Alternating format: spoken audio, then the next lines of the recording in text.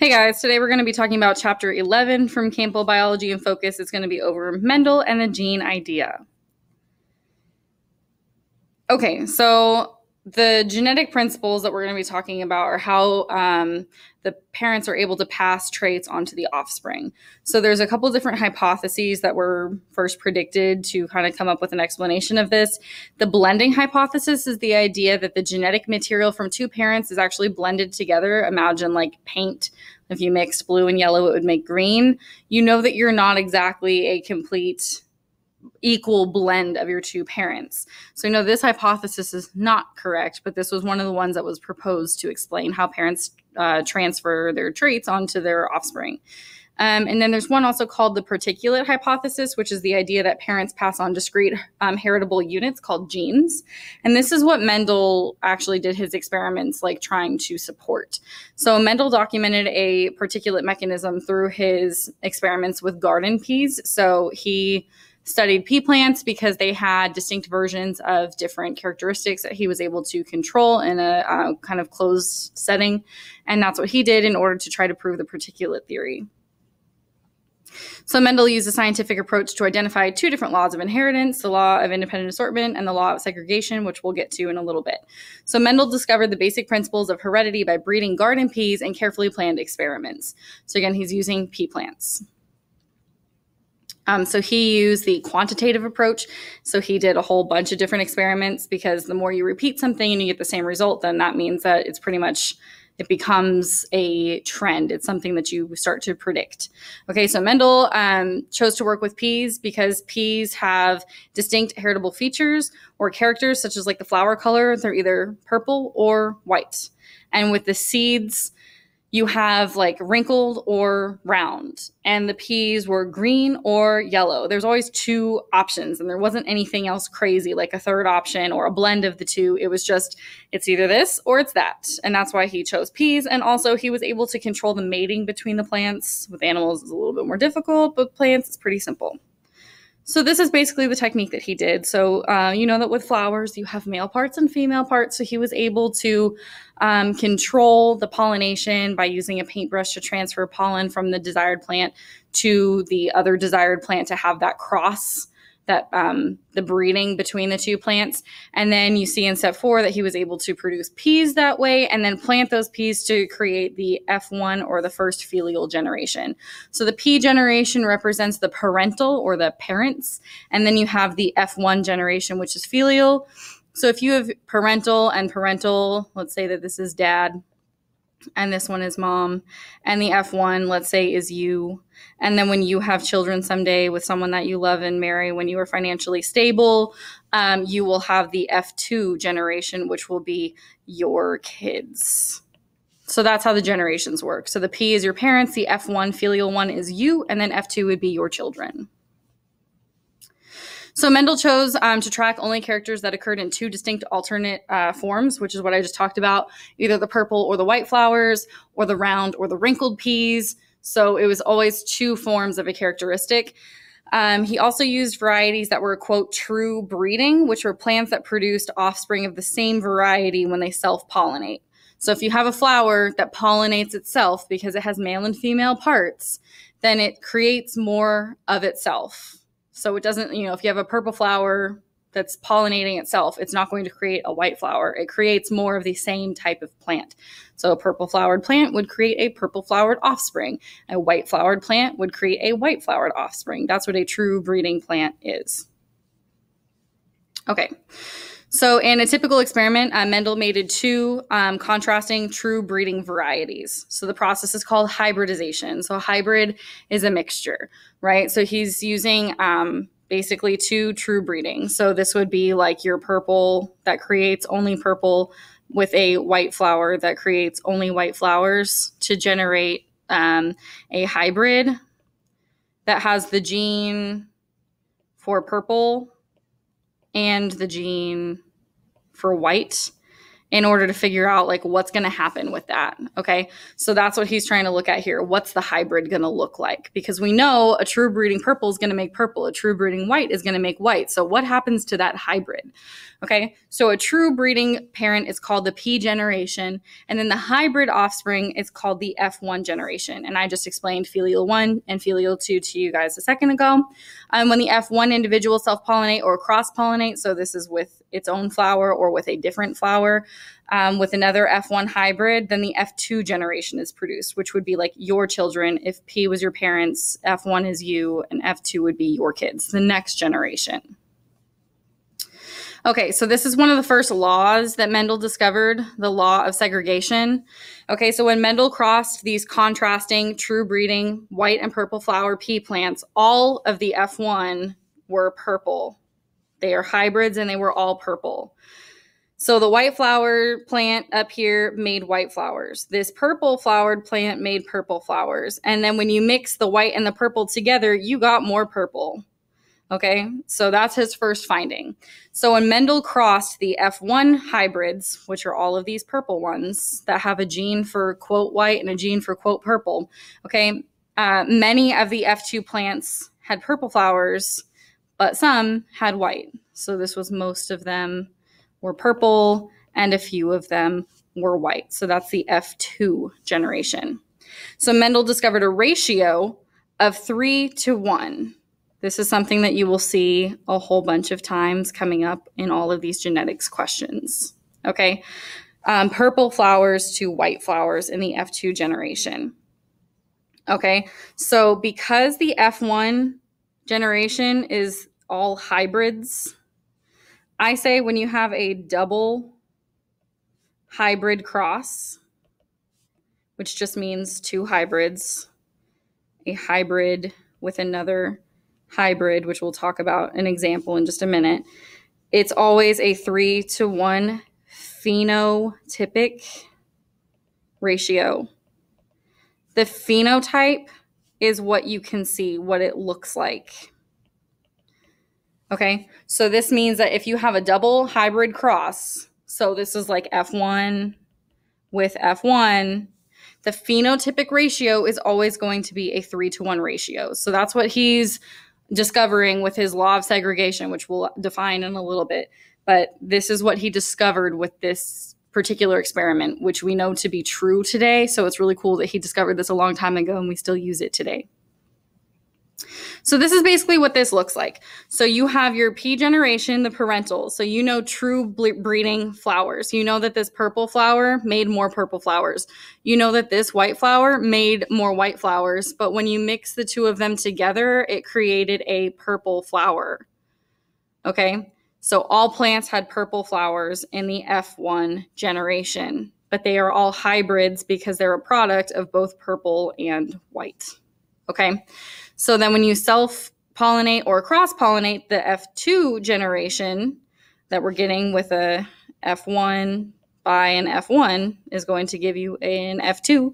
You get a three to one phenotypic ratio. Remember, phenotype is the way that it looks, what it looks like. You can see that there are three purple flowers and you have one white flower. That's the way it looks. I'm not saying anything about any letters, alleles, genes, nothing like that. Just physically the colors, you can see that. Okay, so Mendel reasoned that the F1, that in the F1 plants, the um, heritable factor for white flowers was hidden or masked in the presence of a purple flower factor, is what he's calling them, right? Factor. Okay. He called the purple flower color dominant. Dominant because it's going to dominate. If it's present, you're going to see it.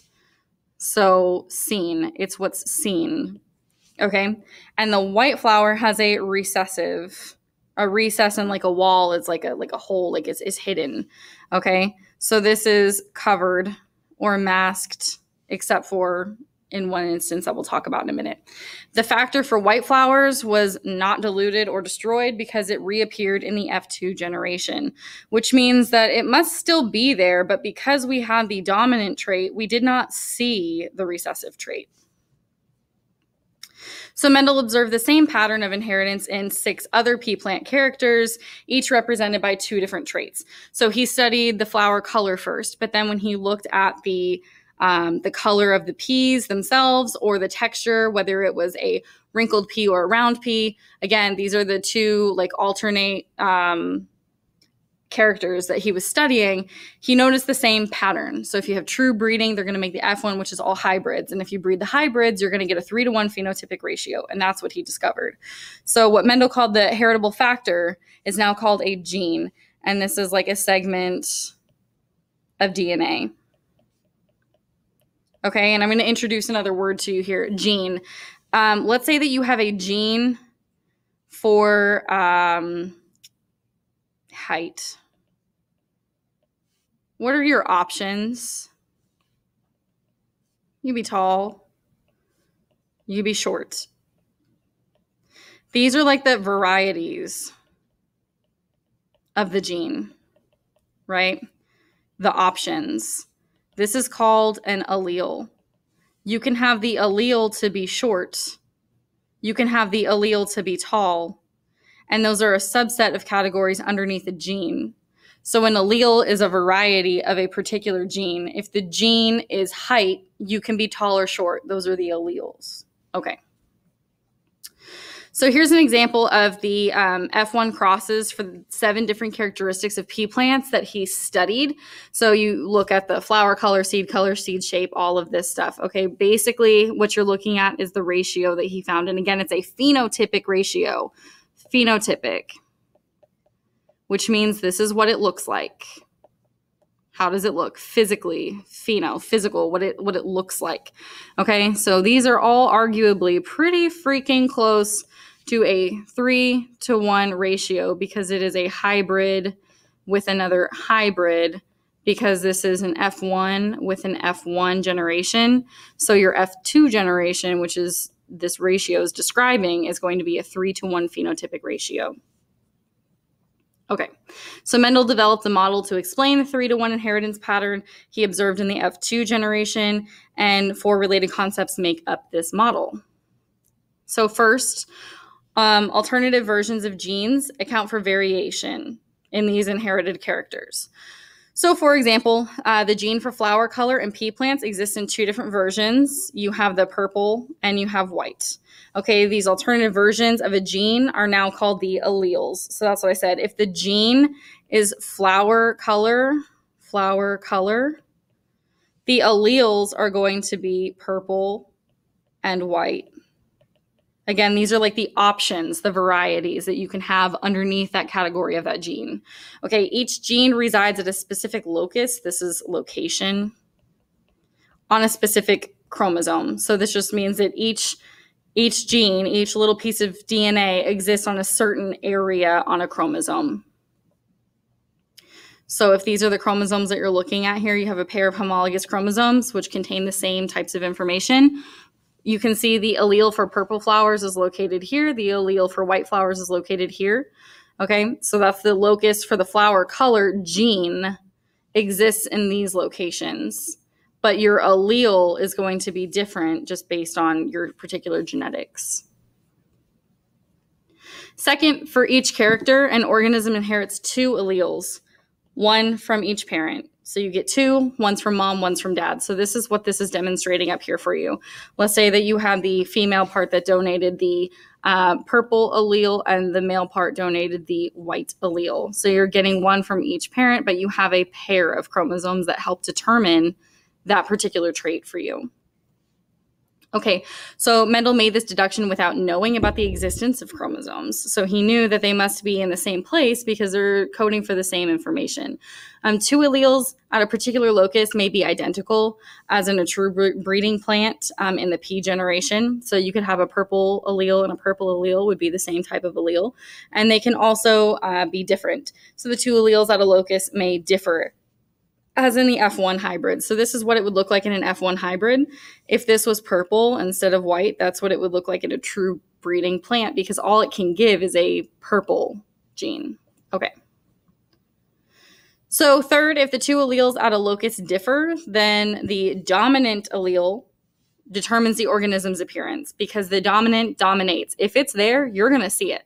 And the other, the recessive allele, has no noticeable effect on the appearance because it is hidden, it is masked.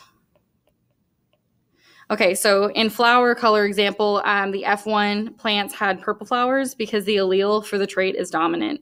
So let's do a capital P would be purple. This is your dominant trait. And your lowercase p, I'll make it super small, was the white allele. This is your recessive, which means that when you got one purple allele from the purple plant and one white allele from the white plant, because this p exists, exists, it's going to dominate dominate because it's the dominant, which means that you're going to see purple. So I hope that that makes sense. Okay. And lastly, um, now known as the law of segregation, like I said, one of the laws that he created or discovered in his studies here. The two alleles for um, a heritable character separate or segregate during gamete formation and end up in different gametes because we know that you end up splitting your 46 chromosomes in a human into 23 and 23. Each of these genetically unique um, sex cells, hello, sex cells are um, genetically unique. So essentially, you're splitting your gene into alleles, and they're going to segregate or separate during gamete formation, and end up in different gametes. So an egg cell or a sperm cell only gets one of the two alleles present. So those F1 hybrids that we just talked about that I told you had one gene for purple and one or one allele for purple and one allele for white. During meiosis, when you create your gametes, one of those traits is going to go into one cell and the other trait is going to go into the other cell. They're going to separate. This is the law of segregation. They separate and they segregate from each other independently. Okay, so the segregation of alleles corresponds to the distribution of homologous chromosomes um, to different gametes in meiosis. So if you have, if you are a true breeding purple, you'd have two dominant traits which means that in meiosis, you're only going to create sex cells that have that dominant trait. If you are a white true breeding pea plant, you're only going to create little tiny, uh, well, little tiny peas here, but you're only going to create the white copy. So you can only donate the white copy, and this one can only donate the purple copy of that allele. But if you are the hybrid, you can give either a purple trait or a white trait. Okay, so they separate. That's a law of segregation. That's what that means. Okay, so here's an example again of what we were just looking at. So the P generation is the parental generation. You know that they are made up of true breeding plants. So this means that you have dominant dominant making up our purple and recessive recessive making up our white. So you can get only, right? This is why it only shows one P here and one P here because this flower right there can only donate a purple big P. It doesn't have anything else. So that's why it only shows one because it's redundant to put another big P here. Okay. Like you don't, you don't, oops, you don't really need to do that. Okay. Um, and over here, same thing. You only can donate a small P. So you don't have to put it twice because that's all that it has to give. Okay. So we're doing the cross. Um, of big P, big P with little p, little p, which gives you all hybrids. So that's what's happening right here, right? You can see that all of them have the hybrid genotype, which is also called heterozygous. Okay. The white one is called homozygous. Homo means same homozygous recessive. Why is it called homozygous recessive? Because homo, same, little p, little p, those are the same. And recessive because it's a little p, it's recessed, it's hidden, it's masked. Okay, and then over here we have our purple one. It's big P, big P. So again, that is homozygous. Homo because they're the same, big P, big P. I didn't say anything other than big P, right? And it's dominant because they are capitalized. So if you cross a homozygous dominant plant with a homozygous recessive plant, you will get all heterozygous plants. Hetero means different. And you know it's different because big P, little p, I said two different things. So different. They are different. Okay. The alleles are different. So then in the F2 generation, when you cross the F1 and the F1, big P, little p, big P, little p, you end up with big P, big P as 25%. You have big P, little p, and big P, little p, big P, little p. Two out of four makes up 50%. And then lastly, you have little p, little p, which makes up 25% because that is one out of four. Okay, and these are the genotypes. Okay, but let's look at the phenotypes. Phenotype is the way that it looks. Okay, the genotype is going to be the letters. Phenotype is the way that it looks like, right? It's the physical um, the physical aspect. Phenotype. So how many purple flowers do you count? I count one, a two, a three. Three to what? Three, two, one. Oh my gosh, it's almost like we just talked about that, which could also be called a 75 to 25% ratio. The bigger number is always going to be what is dominant. In this case, it is purple. Okay, so that's how that works. So Mendel's segregation model accounts for the three to one ratio that we just talked about. Um, he observed in the F2 generation of his numerous crosses. The possible combinations of sperm and egg can be shown using a Punnett square, which is what we just looked at. That's what this is right here. I also like to draw them without the square sometimes because I'm lazy. Okay, um, it's a diagram for predicting the results of the genetic crosses between individuals of unknown genetic makeup. So let me just highlight something here for you this word predicting. Okay, so right here, when we have that this is the predicted cross, does this mean that if you end up with four P's, you're going to have this exact ratio that we just said? No, it's a percent chance. You have 75% chance of an offspring being purple. You have 25% chance of that offspring being a true breeding purple or homozygous dominant plant. Okay, it's a percent chance used to predict. Okay. And there are limitations to it. And I do just want to point that out. So a capital letter represents a dominant allele, which is what we were talking about. So in these examples, it is the purple allele, and a lowercase letter represents the recessive allele, which is going to be white from the example that we just went through. For example, big P is the purple flower, and little p is the white flower. Now, I hate using P's. I never use them unless you like exaggerate them the way that I do you're going to mess them up every time. I like to use the letter B because it's obvious or the letter G because it's really obvious. Okay, but in the questions, if they give you the letter P, make sure that you do this and you make them very exaggerated so you don't confuse yourself on something silly.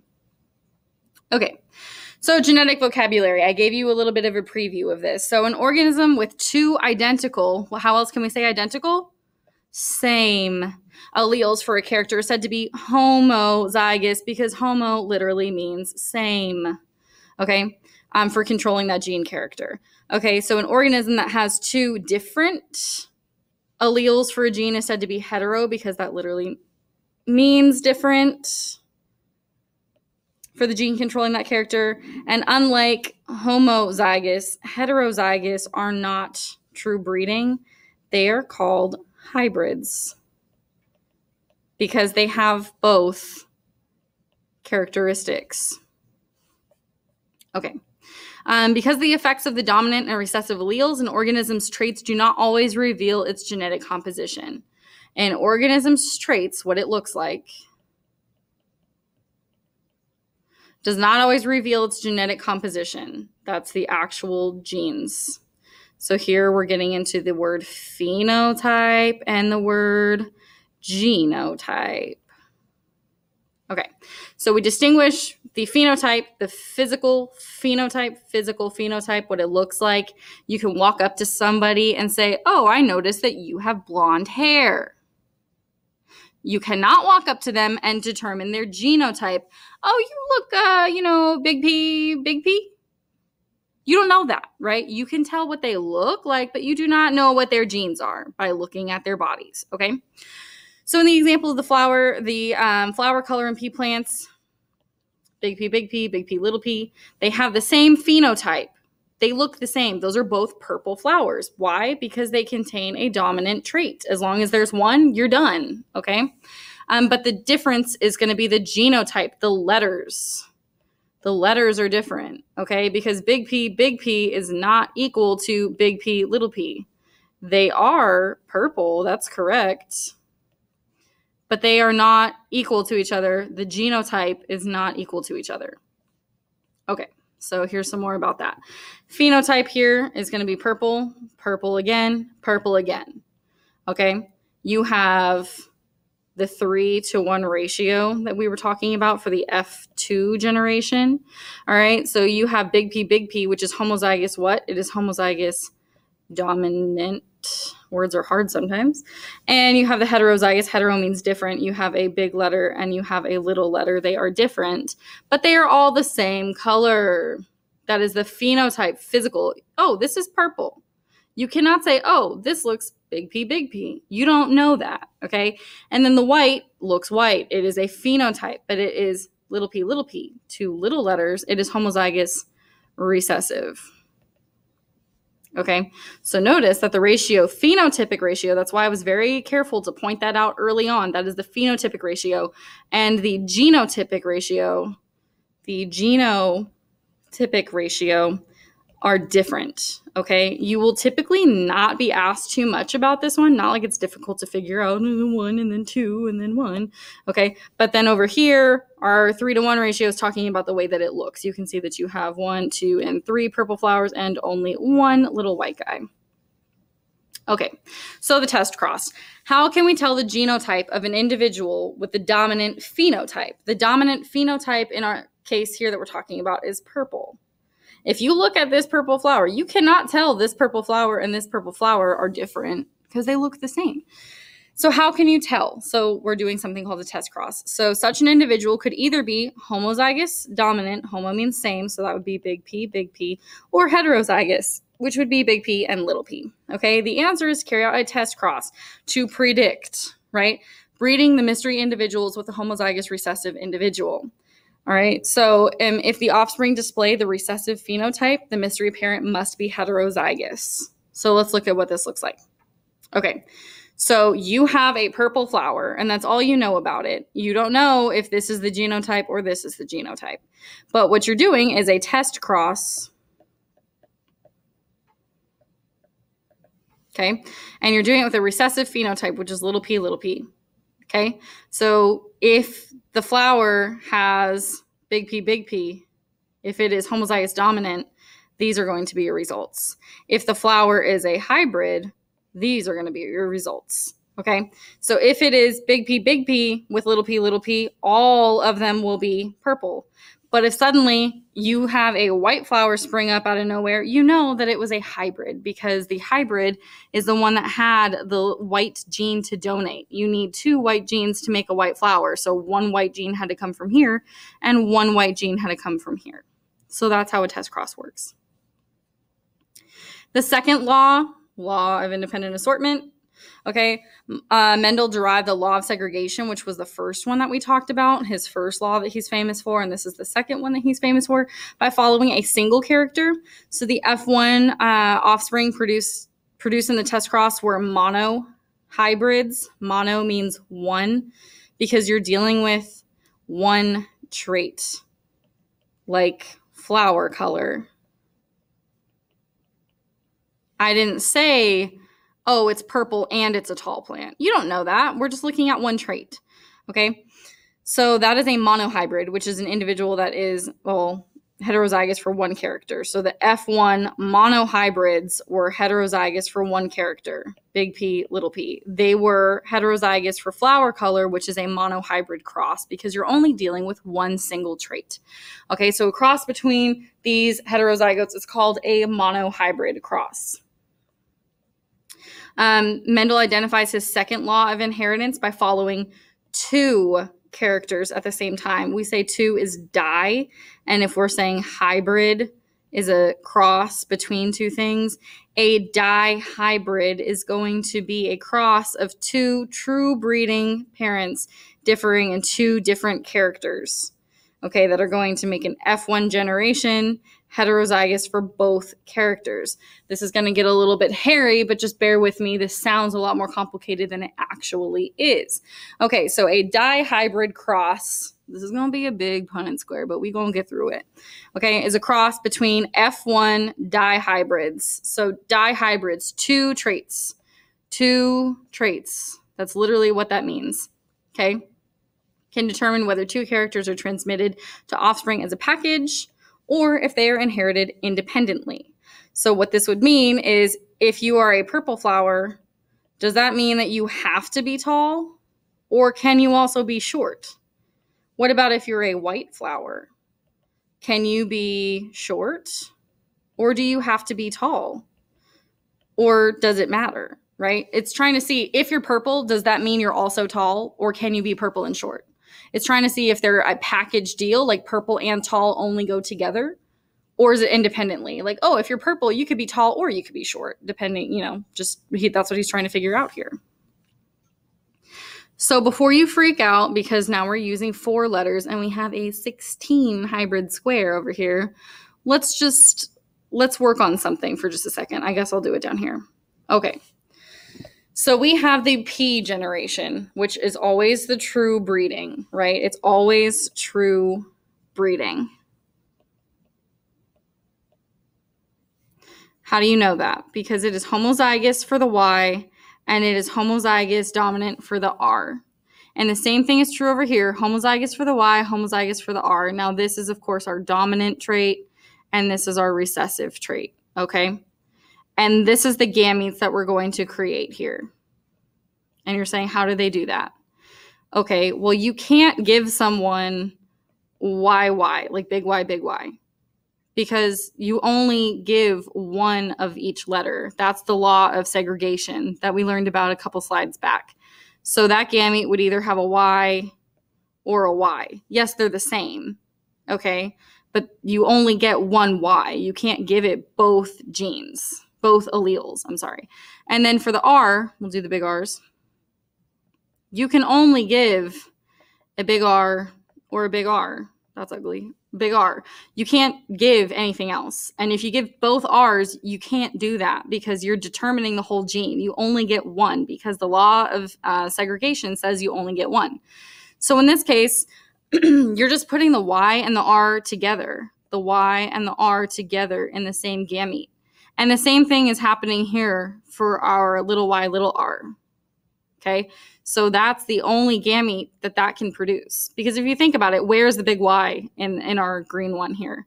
There is no big Y, so it can never give a big Y. Where's the big R? Well, there isn't one. So it has to donate this to the offspring, which means that when you do that cross, all of the offspring are going to have the um, hybrid. It's a double hybrid. The F1 generation is always the hybrid and if we're doing a dihybrid, two traits, it's going to be hetero for both. That's not how you spell for, for both traits. Hetero, big Y, little y. I said two different things. Big R, little r. That's also a um, heterozygote trait. Okay. So you have your predictions here.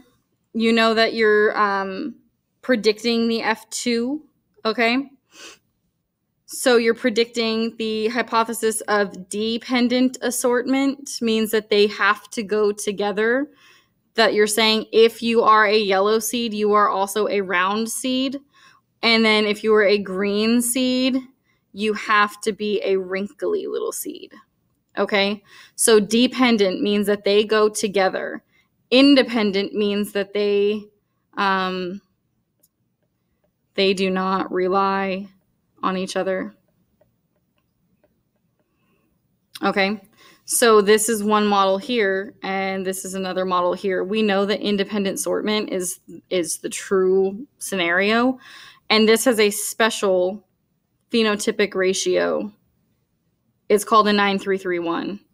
Okay, so this is for a double um,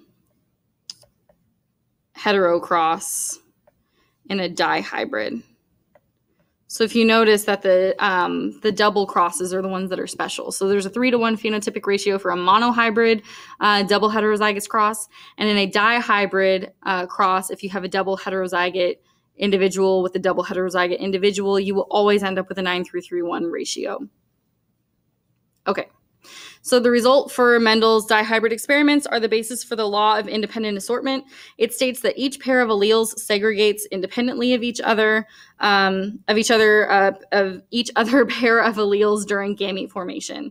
So this law applies to genes on different non-homologous chromosomes or those far apart on the same chromosome. The genes are located near each other on the same chromosome. They tend to be inherited together. Well, that makes sense because if you're talking about like the chromosome and you have a gene right here and you have a gene right here, chances are they're probably going to stick together. But if you have another chromosome and you have a gene here and you have a gene here because of that thing called crossing over, there's a high likelihood that it's going to be separated somewhere in the middle. Okay. Um, the laws of probability govern uh, Mendelian inheritance. So, Mendelian genetics is what we're studying right now because it's all about Mendel and his pea plants. So, Mendel's laws of segregation and independent assortment reflect the rules of probability. So, we're going to talk about probability. So, when tossing a coin, the outcome of one toss has no impact on the outcome of the next cross, the next toss. So, you flip a coin, you get heads. Does that mean that the next one can't be heads because you just got it? No, it's just probability. You got a 50 50 shot. There's only two options. So it's either going to be heads or it's going to be tails.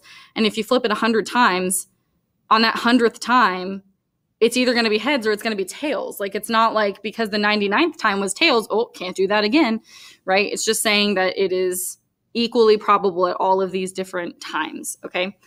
So, in the same way, the alleles of one gene segregate into the gametes independently of another gene's alleles. So, you get a 50 50 shot of which allele you're going to inherit.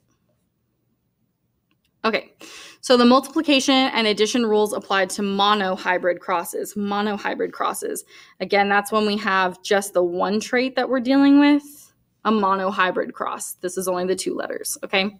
The multiplication rule states that the probability that two or more independent events will occur together is the product of their individual probabilities, okay? So this can be applied to the F1 generation. Remember that that is going to be our um, heterozygous individual in a monohybrid cross. So segregation in a heterozygous plant is like flipping a coin. Heterozygous. It means that you have the big and the little letter. Okay, each gamete has a one half chance of carrying the dominant dominant allele because your other option is the recessive. So it's a 50-50, dominant or recessive. And then you have a one half chance of carrying the recessive allele. So this is what it's talking about you're doing gamete formation, you can either donate a P in your sperm cells if you're a male, or you can donate a tiny P in your sperm cells if you're a male, right? So it's either the dominant or the recessive. And it's an equal chance because you only have one of each copy of the allele. Okay. So let's look at this. Okay, so we're dealing with egg cells down here. So hi mom, this is mom. And here's the sperm cell, so we're dealing with dad. So the segregation of alleles into an egg, you're flipping a coin. You got 50% chance of getting the big R or 50% of the little r. Same thing over here, 50% chance big R or little r, which is going to give you the, um, these two are identical. In convention, you never write the little r first, like you don't do this. The big R always goes first. So these end up being the same, right? So your 25% chance homozygous dominant, you have your 50% chance of being heterozygous, and then you have your 25% chance of being homozygous recessive. Okay. So the addition rule states that the probability that any one of two or more mutually exclusive events will um, occur is calculated by adding together their individual probabilities. Um, it can be used to figure out the probability that an F2 plant from a mono hybrid cross will be heterozygous rather than homozygous. So let's look at that. Um, I guess we're going to look at it in just a second. I lied to you. I'm so sorry. Um, so, solving complex genetics problems with the rules of probability. This is where we're going to look at those two rules and how they apply to like the math of everything. Okay, so we can apply the rules of probability to, to predict the outcome of crosses involving multiple characters. Okay, so a dihybrid. Remember that we're dealing with two. So, like, here's an example. That's one dihybrid individual because it has two traits. Okay. Or other multi character cross, you can have up to like, I mean, a billion letters. It, it doesn't matter. You know, it's just a different, um, like two traits that are happening together or three or four or five, it doesn't really matter. Okay, is equivalent to two or more independent monohybrid crosses occurring simultaneously. So two or more independent monohybrid crosses occurring simultaneously. So if this one that I wrote here was mom, and then when we write another one, dad looks like this. Okay, that's basically like saying we're going to take the A's and do a cross, and then we're going to take the B's and we're going to do a cross like that instead of doing one of those giant 16 grids where you have like a billion squares to fill in. You can try it like this as well. Okay, so in calculating the chances for various genotypes, each character is considered separately, and then the individual probabilities are multiplied. Okay.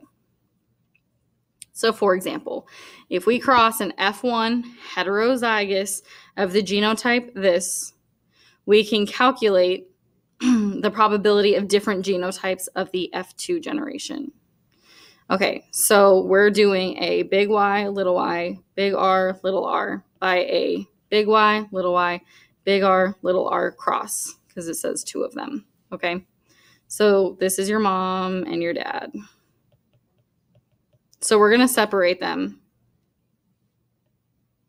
Okay, so if you're doing a big Y, little y, big Y, little y, here's your cross, right? Like I said, I don't always like to draw the boxes, but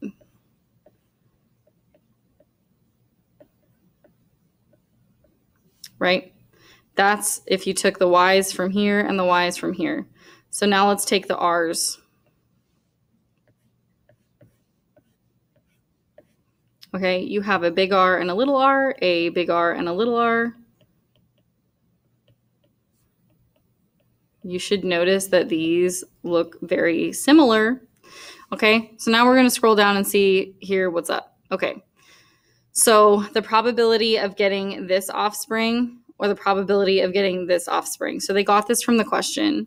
So we're calculating the different genotypes. So you have one fourth probability of big Y, big Y, because this is saying the probability that their offspring is going to look like this guy right here big Y, big Y, big R, big R, or if the offspring is dominant for all traits, um, is a homozygous dominant for all traits.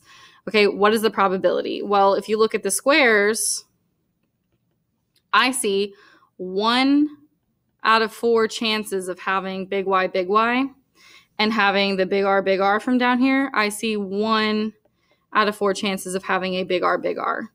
So what they did is they took that one fourth percent chance and that one fourth percent chance, they multiplied it together to give you one sixteenth. So without having to solve that giant, you know, 16 squares, you can just do two of these little monohybrid crosses and then multiply them together and be like, oh yeah, it's 1 16th. Instead of counting literally only one square out of all 16, it's actually this square. I'll show you how to do that later.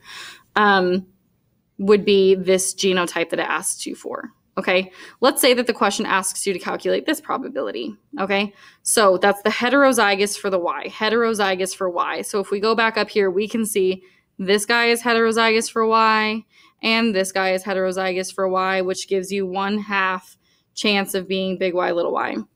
Then you also have um, percent chance of big R, big R, which we just did right here. Big R, big R is still at one fourth. So you're going to times one fourth chance of big R, big R. And then they do that down here. One half times one fourth is one eighth. So that's how you do those. Okay. Um, for example, for the cross of this guy versus this guy, now we've added a third character. Um, we can calculate the probability of offspring showing at least two recessive traits. Okay, so we'll do the cross for P. So you have big P, little p, big P, little p. So I'm just going to do this. Okay, for the y's.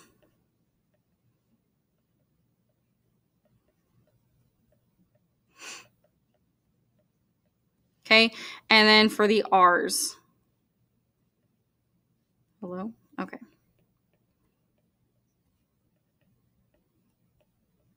Okay. So if we are asked for this guy right here, Um, let's not cheat. Little p, little p. And then it wants little y, little y. There's only one here, and there's one here, and one here. Little y, little y equals 2 out of 4. And then big R, little r.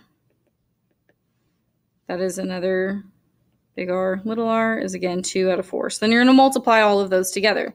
So you have the 1 fourth, we got that right. 1 half, we got that right. By 1 half, we got that right, gives you 1 16th. Okay. And then so you could just keep going and practice these on your own because I mean, I just did them for you. So you can just go through, make sure you understand where they get all of these numbers from and just check yourself. Okay. So the chance of at least two recessive traits. Okay. Because here the P's are recessive, the Y's are recessive. Here the P is, is recessive, the R. Here we have the Y and the R. Here you have the um, Y and the R with a different P. Here you have the Y and the R and the P. Okay, you have at least two being recessive. So this is going to be your overall answer. So you would have to solve each part of this and then um, add them together at the end. Okay, so inheritance patterns are often more complex than predicted by simple Mendelian genetics. So there's more going on than just like white plant, white flowers or purple flowers. Okay, so not all um, heritable characters are determined as simply as the traits in Mendelian studies. Okay. This is very simplified genetics. Typically, it's much more complicated than that. However, the basic principles of segregation and independent assortment apply um, even more to complex problems um, of inheritance. So, extending Mendelian genetics for a single gene. So, inheritance of characters by a single gene may deviate from simple Mendelian patterns in the following situations. So, when we have all alleles that are not completely dominant or recessive, so when you have a struggle for dominance, when a gene has more than two alleles, so this is when you have two more than two options, um, not just purple or white, maybe like purple, white, pink, green, whatever. You're adding an extra vari- um, variation of the alleles. And when a single gene influences multiple phenotypes, and we'll get into that as well. Okay, so degrees of dominance.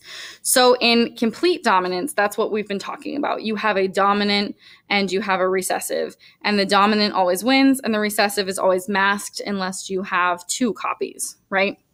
Um, then in incomplete dominance, incomplete dominance. I'm going to tell you that incomplete is in between. It's a it's a blend.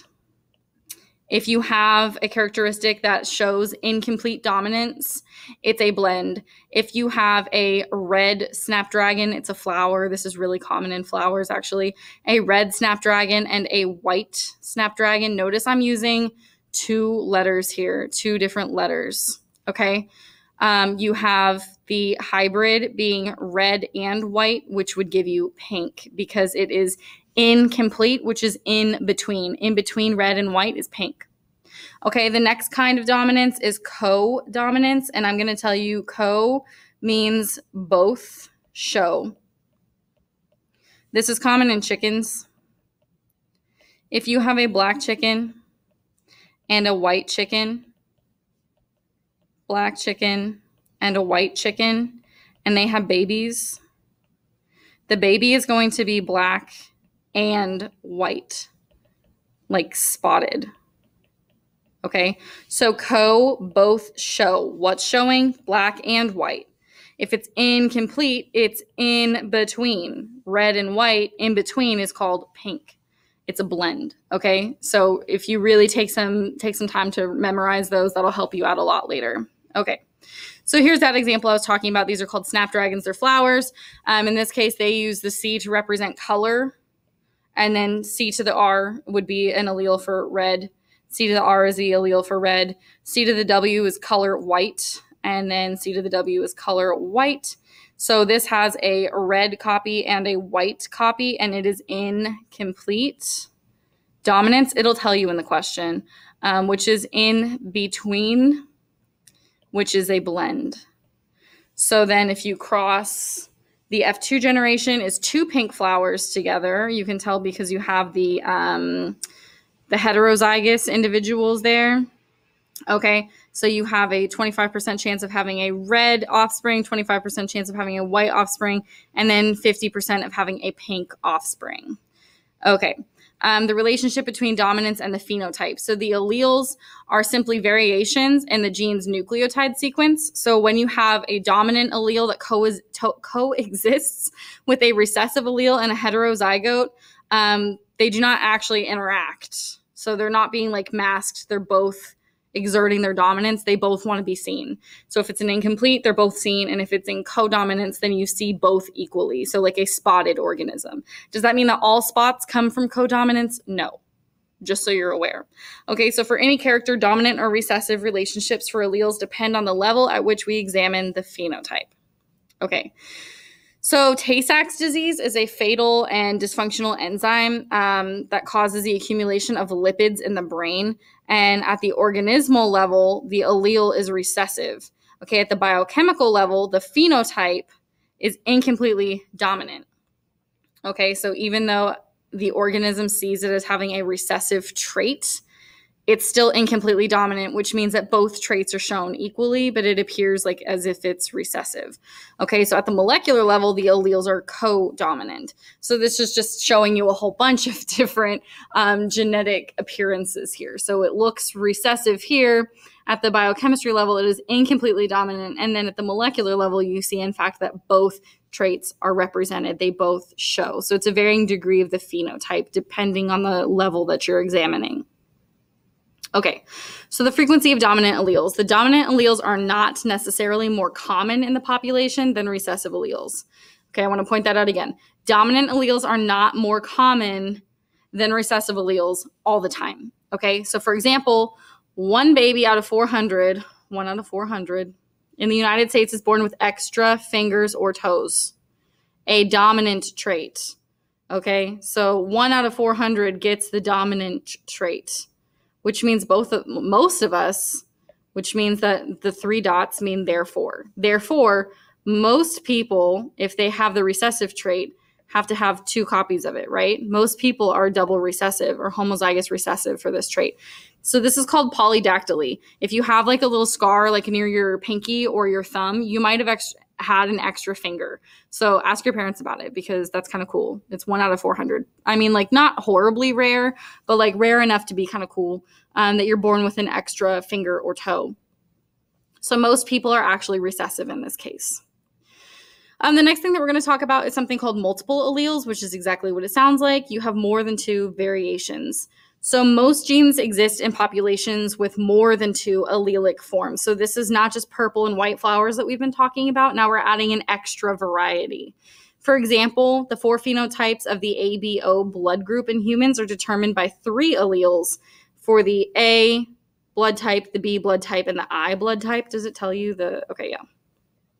Um, the enzyme I uh, stands for specific, it's like immunoglobulin, and a specific carbohydrate um, on the surface of blood cells. Okay, so we just use a capital I, and then lowercase i really means O. But if you write O, it could also look like a zero, like percent or something. So you never use O. You always use the I. Okay. The enzyme encoded by I to the A adds the A carbohydrate to the enzyme. And if it's the I to the B, it adds the B carbohydrate. And if it is the I, then it adds nothing. No carb is added. So let's look at that. So there are three alleles for the ABO um, blood groups and they're carbohydrates. So for allele A, you're adding A, for B, you're adding B, and for I, you're adding nothing. Okay, so then we have our genotypes here. So if you're homozygous dominant for, or homozygous for A, you can't be dominant or recessive in this. So if you are homozygous, because these are the same, you're going to ex, um, express the A antigen on the outside here. If you are heterozygous for A, this means that you're adding the A up here, and the I tells you that you're adding nothing, so you're just adding the A. For B, this one you're adding, this says add B carbohydrate, add B carbohydrate. Cool, got it. This one says add B. This one says add nothing. You still only have B. You're good. This one says add A carb, add B carb. A carb and B carb. You're good. Over here, this says, hey, add nothing. Well, there's nothing here, so that still checks out. So that's how we get our different blood types of A, B, AB, and O. Okay. So this one only has the A antigen, this one only has the B antigen, this one has both of them. A, B has both, and O has nothing. O like zero carbs on the outside. Okay.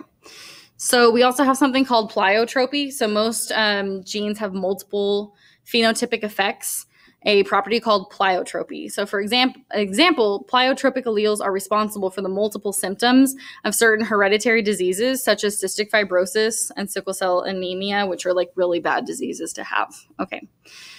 So, extending the Mendelian genetics for two or more genes. So, some traits can be determined by two or more genes. So, not just, you know, the two that we're talking about. This is a more complicated um, genetic issue. So, um, the first example here is going to be epistasis. So, epistasis is a little bit confusing, but in epistasis, you have a gene at one locus, one location that alters or somehow affects the phenotypic expression of a gene at another place. So, because this gene is present or absent, it's going to affect this gene over here, even though it's not in the same gene. It's not like the gene for you know, flower color. It's a different kind of gene that says, like, oh, yeah, you can express that. Or, mm, no, you know what? You're not going to express that color. You're going to do something else.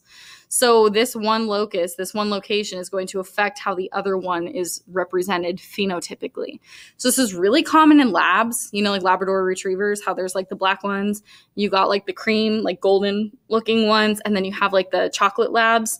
Okay, so we're going to talk about that. So, for example, in Labrador retrievers and many other mammals, the coat color depends on two different genes. So this is how we are going to get epistasis because it's two different genes, not which is not equal to two alleles. Okay, it's two different genes altogether. So one gene determines the pigment color, which is going to be black or brown. The other gene that's not talking about the color black or brown. Okay, with the allele C for color and C for no color determines whether the pigment will be deposited in the hair. So I like to think about this as like the hair gene. So it's like, oh, okay, is it going to be black or brown? And then this one's like, eh, but is it going to reach the hair or is it just going to stay in the skin? Okay, so here's what this looks like. Okay, so you have the two genes, B and E, and B and E. Okay, so you have these two black dogs, and you're like, oh, okay, so we end up with these chocolate labs, but then because that's our recessive, but we also end up with these guys here, the golden retrievers, which means that they do not have, or they have that um, lowercase c for no color that's actually represented. It's um, epistasis, which is that it's affecting the ability for that pigment to actually affect the hair color in these labs.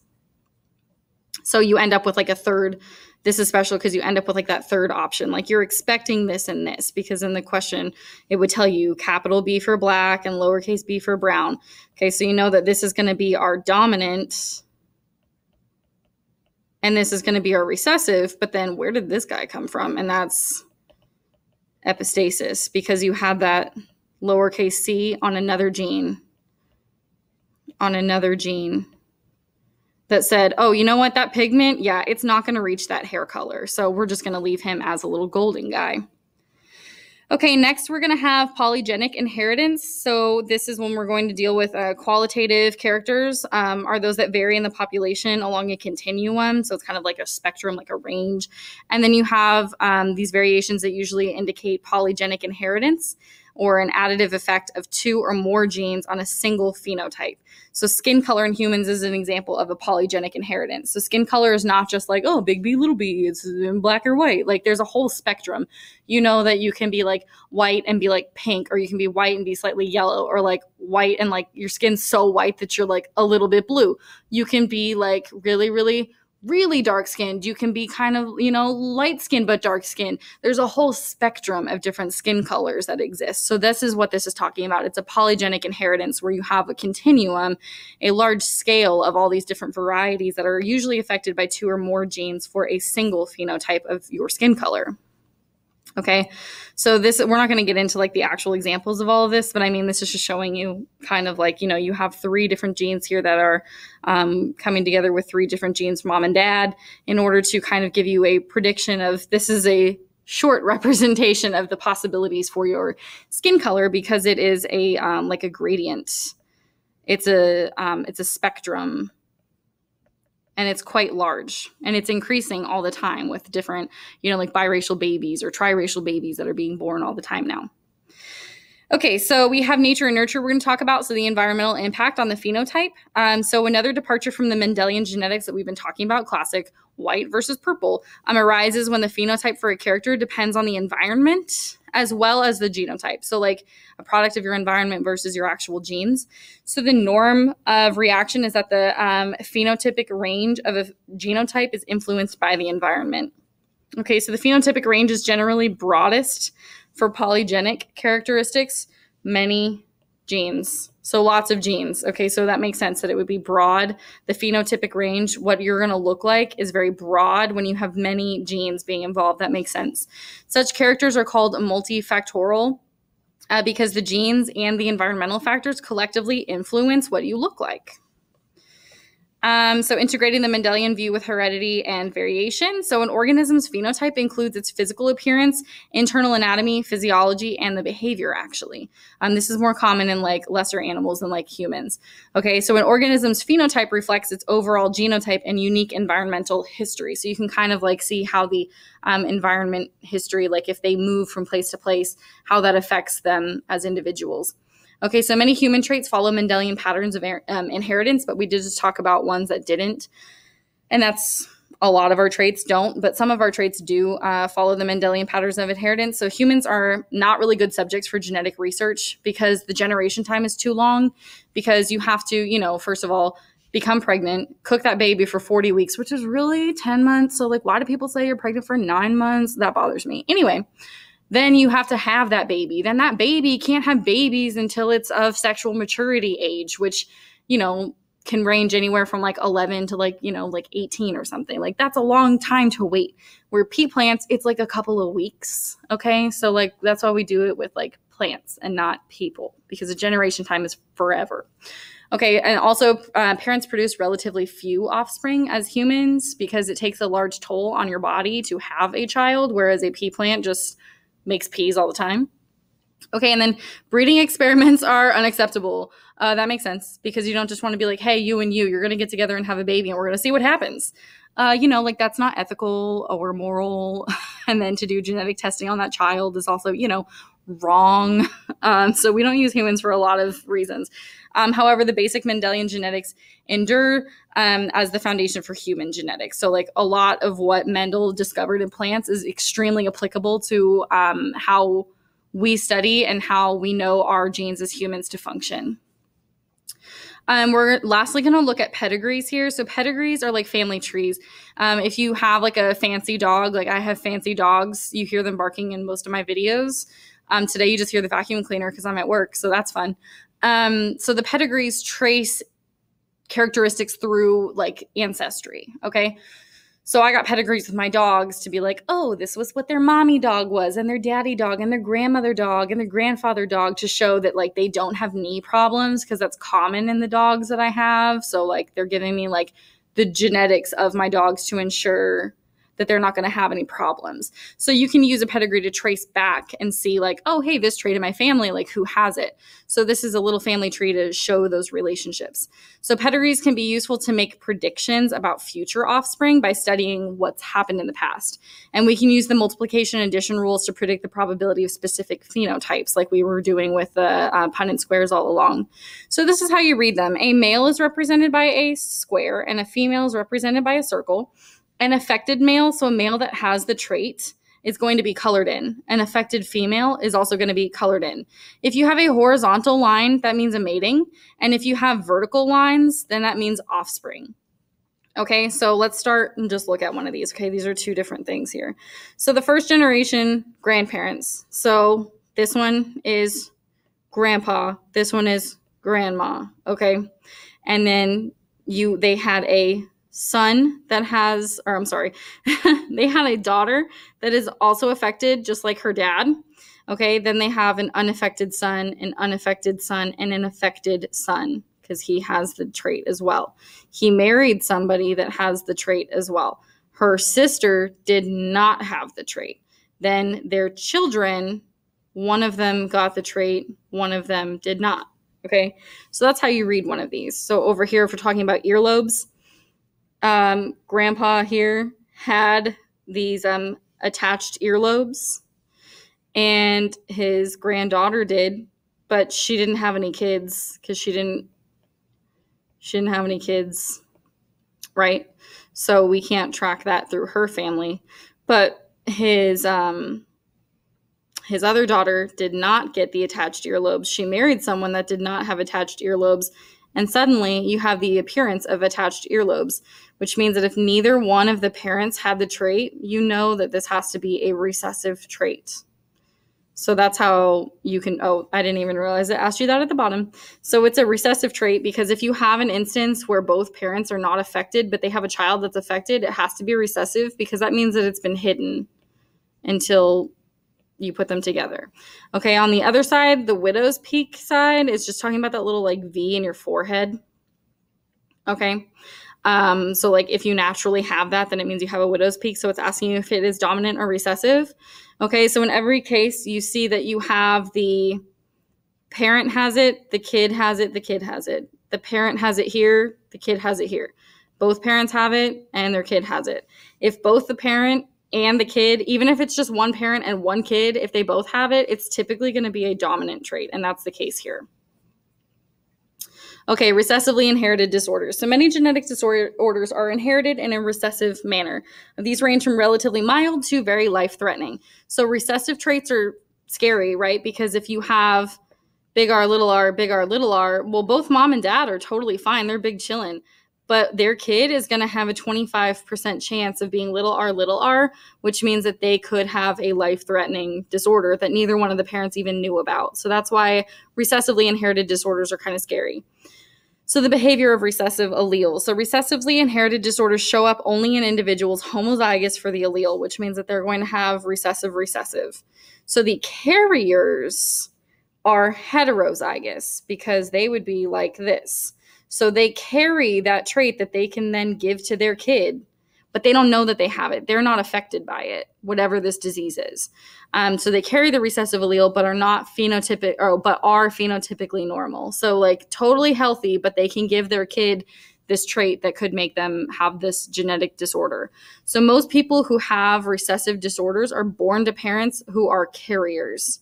Okay, so that's like I said, if you big R, big R with a big R, little r, or big R, little r, big R, little r, you have 25% chance of having little r, little r, which is going to be that recessive disorder. Okay, so both parents in this case are um, carriers. And that's how that works. Okay, so here's here's how this works. This is for um, albinism. Okay, so being an albino. So you have parents that are heterozygous, which means that they show the dominant trait, which is normal. So you get a normal trait and, a, and an abnormal trait. You get a normal trait. You get an abnormal trait. Normal kid, normal kid who's a carrier, normal kid who's a carrier, and then the albino child. So that's how that works. Neither one of the parents knew that they had that trait for albinism, but then when they have an albino child, that's what explains it. So if recessive allele, um, if a recessive allele that causes a disease is rare, then the chance of two carriers meeting and mating is really low. Like especially if it's a disease that's like harmful to you and like affects your health and could potentially like cause you to live a shorter life. Those are going to be really really rarely passed on, okay? Um so the closeness between our relatives here, matings increase the chance of mating between two carriers for the same rare allele because they're they're getting the same traits. So if they're if like you know you that's why like you can't have kids with like your brother because you're going to increase the chance of having these weird rare um, recessive alleles because you're getting it from the same gene pool. Okay, it's a very small gene pool if you're just mating within your family, which is why uh, you know you don't do that. Um, breeding dogs, like a lot of people who are like the breeders that breed dogs and breed brothers and sisters together from the same litter, they experience this. Like I said, my dogs are prone to having like knee problems, so I made sure that they gave me the pedigree to show that they don't have any knee problems. But dog breeders who like don't do all of that because it takes time and money um, and they just like breed two, you know, from the same litter together, male and female, if they both are recessive carriers for genetic abnormalities, a lot of times that's how you get like these mutts that have like these kind of crazy um, diseases or like their legs are the wrong size or their heads are too big for their body and stuff like that because they're getting these like double uh, recessive traits that are not advantageous. Um, so most societies and cultures have uh, laws or taboos against marriages between close relatives, and this is only one of those reasons. Also, like, um, ew, you don't want to have a baby with your brother. It's just disgusting. Okay. Um, cystic fibrosis is another disease. So cystic fibrosis is the most lethal genetic disease in the United States, striking one out of every 2,500 people of European descent. The cystic fibrosis allele results in defective or absent chloride transport channels in plasma membranes, leading to the buildup of chloride ions outside the cell. So, what does that mean? It means that your lungs kind of fill up with this mucus and it becomes very difficult to breathe and it affects your entire life. Um, so, symptoms include mucus buildup in some internal organs and abnormal absorption of nutrients in the small intestine. So, typically, people with cystic fibrosis are very, very skinny. They're malnourished because their intestines do not absorb nutrients correctly. They have usually really um, bad productive coughs, which means that they're constantly coughing up mucus um, and it can affect their breathing. Um, sickle cell disease is another one. It's a genetic disorder with evolutionary implications. So, sickle cell disease affects one um, out of 400 African Americans, and this disease is caused by the substitution of a single amino acid in the hemoglobin protein in the red blood cells, which actually causes your red blood cells to become like kind of like sickled in shape, which means that they cannot hang on to as much oxygen to carry around your body, and that's literally their job. So in homozygous individuals, all hemoglobin is abnormal or sickle celled, which is like this, which means that they're not efficient at carrying around oxygen. They typically will need like a blood transfusion or something in order to help them um, keep their oxygen levels up. And then um, the symptoms include physical weakness, pain, organ damage, and even paralysis. The heterozygotes are said to have um, the sickle cell trait. So, heterozygous, remember, you're like this. Okay, it means that you carry that trait, but you're not affected by it. Um, they're usually healthy, but may suffer a couple of the symptoms, usually not nearly as bad. Okay, about one out of uh, 10 African Americans has sickle cell trait. Um, it's usually an unusually high fre- uh, frequency because of the um, heterozygote advantage that I'm going to talk about right here. Okay, so um, heterozygotes are less susceptible to malaria so malaria is a parasite that affects your red blood cells. Okay, so there's an advantage to being heterozygous because you have at least some normal functioning red blood cells because you have the dominant trait, and then you have that recessive trait, which is the sickle cell trait, which means that some of your cells are going to be sickle celled, but that means that you are um, less likely um, to get malaria, or even um, in some cases, you can be like um, resistant to malaria. So if you're in places where like malaria is very prevalent because there's a lot of mosquitoes and there's not like any um, prevention methods or like insecticides or anything like that, then if you are a heterozygote um, individual, then you have an advantage. It's called the heterozygote advantage, um, which means that you're not going to get malaria and you're not you don't have the symptoms of sickle cell. So you're not going to die because you have like no access to blood transfusions to help you get oxygen in your body. You're not going to die from malaria. You're chilling in the middle you got a little bit of sickle cell, maybe a couple of symptoms, but it's not going to kill you. And the malaria will also not kill you. So, like, that's the heterozygote advantage in that case. Um, nextly, we have the dominantly inherited disorders. So, some human disorders are caused by dominant alleles. Uh, dominant alleles that cause lethal diseases uh, are very rare and arise by mutation. Um, so, we're going to talk about dwarfism as one of the ones here. So, if you have a parent that is a dwarf, it's a dominant allele, and a normal uh, parent that has, you know, the recessive, which means no dwarfism, because now we're dealing with only dominant traits. Okay. Um, that means that you have a 50% chance here of having a child that has dwarfism because it is a dominant trait. You'll see it a lot more than if it was a recessive trait. Um, the timing of of onset of the disease significantly affects its inheritance. For instance, Huntington's disease is a degenerative disease of the nervous system, and typically you start to see symptoms between 35 and 45 years of age, which is after you've had kids typically. Like in today's society that's kind of changing a little bit, but like a lot of people have already had kids by that time and they don't know that they have Huntington's disease, but they've already passed it on to their kids. So once the deterioration of the nervous system begins, the condition is irreversible and fatal. Um, so many diseases such as heart disease, diabetes, alcoholism, mental illnesses, um, cancer have genetic and environmental concepts. And then the lifestyle has a tremendous effect on the phenotype for the cardiovascular health and other multifactorial characters. I mean, obviously, like, um, you know, like cancer, you know that some can be caused by going out in the sun and not wearing any sun protection. Some can be caused by smoking. These are not things that you're going to like inherit because your parents smoked a lot. But like if you smoke a lot, even if you have the best genes in the world, you're still going to end up with this disease. Um, genetic counseling based on Mendelian genetics. So Today, you can actually get genetic counselors to provide information to um, prospective parents concerned about a family history for a specific disease. They can help you gather information and determine, like, creating a pedigree. Like, you know, are we going to pass this on to our kid? Can we get tested to determine if we have these recessive alleles? That way, we know if our kids are going to be at risk for developing these awful diseases. So you can get tested now and kind of like determine probabilities, even if it's a very, very, very low probability of having something or a higher probability of having something.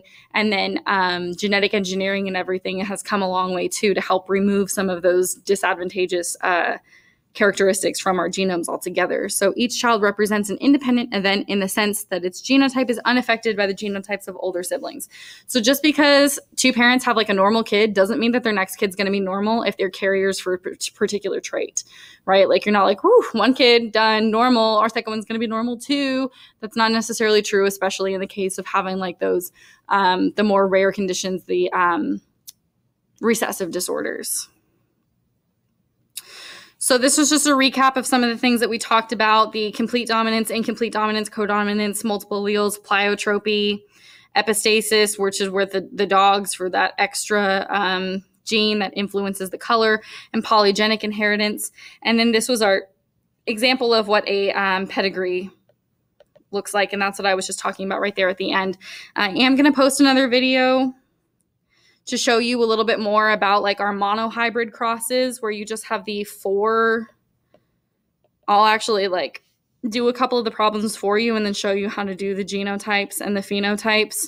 And then I'll actually show you how to solve out the entire big squares just in the event that your test requires you to do that okay? So you know how to get the um like the the offspring from across like like this right? Because each one of these is going to have all of these um, these four traits in here, or these two traits, but four letters represented. So I will show you how to solve these in my next video. I know that this was kind of long, but thanks for sticking with me. I hope that you found this helpful.